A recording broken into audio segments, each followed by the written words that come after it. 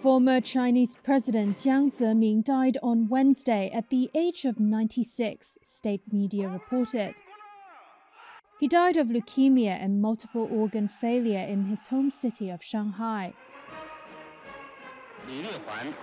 The former president was plucked from obscurity to head China's ruling Communist Party after the bloody Tiananmen crackdown on pro democracy protesters in 1989.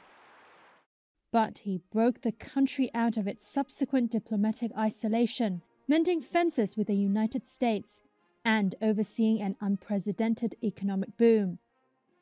His three represents theory, a progressive concept with a puzzling name, helped shape modern China by inviting entrepreneurs to join the party. This theory was written into the party constitution in 2002. Jiang counted among his proudest achievements the return of Hong Kong to China in 1997 after more than 150 years of British rule.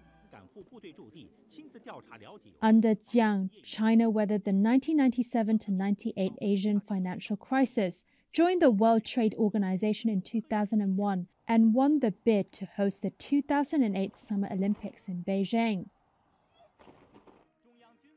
However, political reform stagnated and freedoms were curbed under his rule. China's wealth gap widened, corruption worsened, and social unrest grew.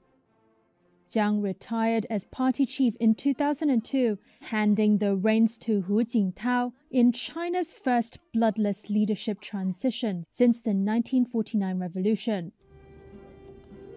His style could surprise his guests, including this meeting with then Philippines President Fidel Ramos in 1996, where he enjoyed a spot of karaoke. The former president was known to sometimes burst into song, recite poems, or play musical instruments.